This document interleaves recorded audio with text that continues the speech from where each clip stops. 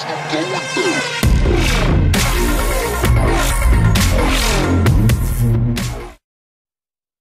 up, everybody? Nick, aka Sushi, here for the first part of my Welcome to Maple Story series, where I tell you guys everything that you need to know about Maple Story and more.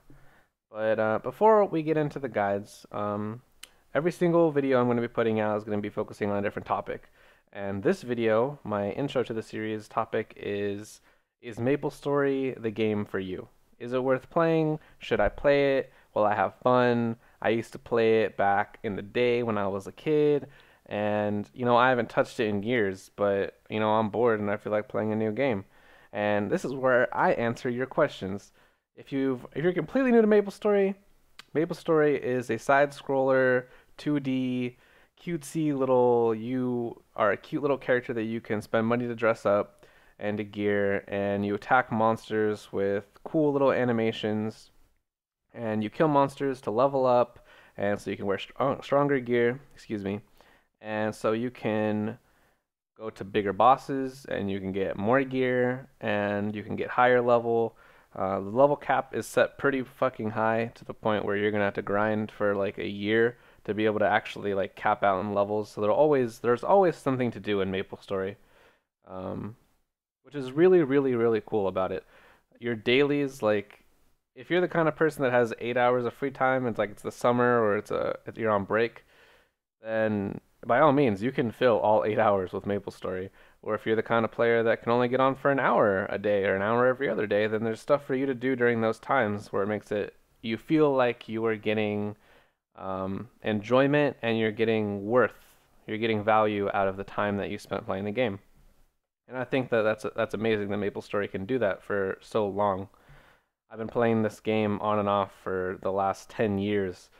So it, it definitely has that, that addicting that addicting feel to it. So it's really really nice. It it feels rewarding to play it when you're enjoying playing it.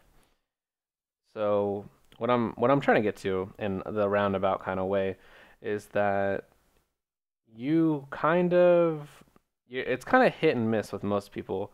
You're either to like fall in love with it or you're to want nothing to do with it. And you know, you don't really lose anything from trying, from trying it out and from going around getting to getting at least a fourth job, meeting people. People people always joke and say that like percentages of the game are certain things that the game is only 5% of MapleStory. Dressing up your characters like a third of it, talking to people is half of it, and then there's like another like 10 to 15% for for bossing and stuff like that. And so it's definitely about the social environment more than anything. I think that's what's kept MapleStory going.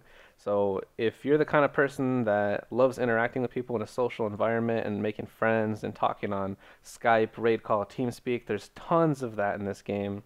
And I've met so many wonderful people playing this game that I would I would never ever in my entire life go back and like go back in time and tell myself not to play this game because this game has such had such a good impact on my life personally with the people I've met and the good times I've had playing it. So people the the biggest complaint that I hear is that the game is pay to win and that you don't want to spend money on it. I mean, you don't really have to spend money on it. It, it definitely like anything, it gets easier with money. That's just how life is. That's any MMO you can buy gold in and it'll help you get gear but there's always a way for you to be able to get money yourself and there's always a way for you to be able to do things yourself and the reward shop and the better maple initiatives uh, which i'll be talking about in another video uh, really really help towards that goal of of not having to pay money to the game if you don't if you're not one of those people that feels comfortable doing so. So in the end what i'm trying to say is that if you think that you want to get back into maple and you want to know if it's worth it try it the fuck out what are you gonna lose? Some of your time? You know, like uh, worst case scenario, you just uninstall the game and you go find something else. Best case scenario, you found the fucking the game of your life. Uh, so it's definitely worth it to try out. Uh, grab a friend, you know, hop into a forum and try to get into a guild and meet some new people it's it's definitely a good time for everybody, no matter what age you are. There's groups of 12 year olds running around. There's groups of 25 year olds running around. So you can pick and choose what what kind of community you want to be a part of. Uh, so I hope to see you guys in game, and I'll see you guys on all the future guide videos coming out.